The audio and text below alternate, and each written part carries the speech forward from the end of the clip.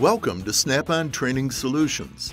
This module is designed to help you get the most out of your VERUS Edge diagnostic tool and covers the use of scanner data in Parameter ID View, also known as PID View.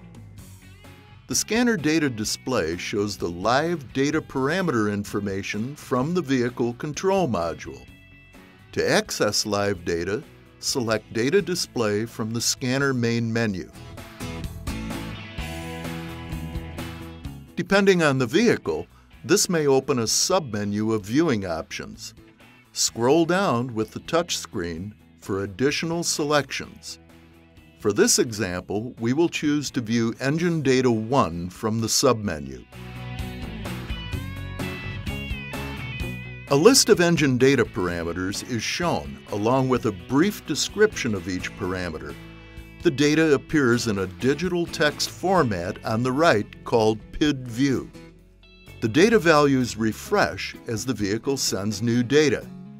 The speed may vary depending on the speed of data being sent from the vehicle and the number of data parameters being shown.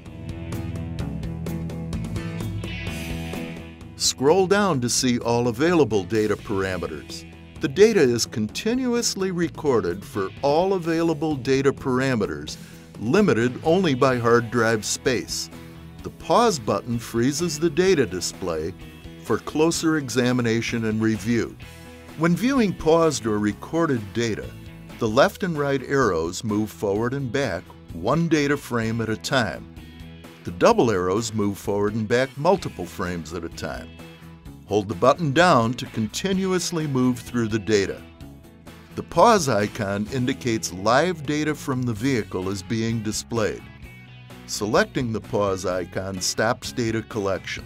With the pause icon visible, you also have the option to clear the data buffer and start over by pressing the red X. This is useful when vehicle conditions change and you want to record and view new frames of data. Use the record icon to restart data recording at any time.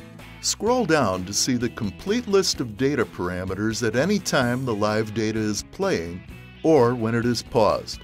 Here are the rest of the Engine Data 1 parameters for this vehicle. You can choose data parameters you want to see together on one screen. This enables you to see relationships between data parameters. The Custom Data List function gives you even more power to customize the view. Selecting the Custom Data List opens a menu for selecting parameters to display. Touch the Custom icon on the toolbar to activate it. Here we see the Select All and Deselect All icons. Use them to hide or show all the parameters. Choose Deselect All.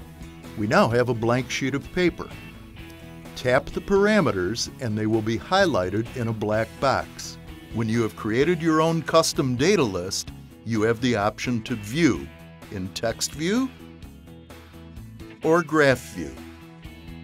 Custom data lists can significantly accelerate the speed of the data display by processing only the vehicle data that you need, so you can find tough intermittent failures faster. Select as few or as many as you want. Snap-on is dedicated to helping you get the most out of your diagnostic tool and keep your customers happy. Be sure to watch the rest of the modules in this Training Solutions series.